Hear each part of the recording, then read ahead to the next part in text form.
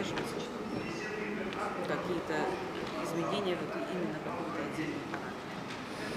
И вы говорили, что э, этот проект это является частью большой научно-исследовательской работы, да, которая должна завершиться в следующем году. Вот э, э, по созданию системы дистанционного мониторинга качества зеленых насаждений. А не могли бы э, привести какой-то наглядный пример, понятный пример, как это будет работать, вот, скажем, на горизонте там нескольких лет, да, двух-трех лет, как это может работать. Понятно, что, возможно, этот мир закончится, не, не завершится в этот срок, но, тем не менее, давайте помечтаем. Вообще, эта работа, она должна лечь в основу более глобальной амбициозной нашей работы по созданию системы управления зеленым фондом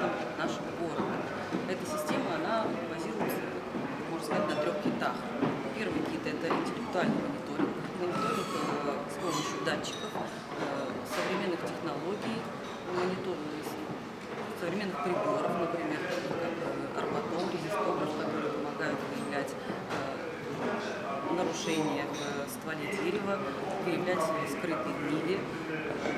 Кроме того, планируется использование более плотное данное дистанционное зондирование. Вот такая планируется у нас система интеллектуального мониторинга. Следующий скажем, этап – это э, создание системы интеллектуального управления зеленым фондом, интеллектуального содержания, точнее. Тоже это идея, наверное, все-таки была у нас нами заимствована в какой-то степени у зарубежных коллег. Мы провели достаточно большую работу по изучению зарубежного опыта, э, познакомились с э, опытом итальянских коллег, германских коллег.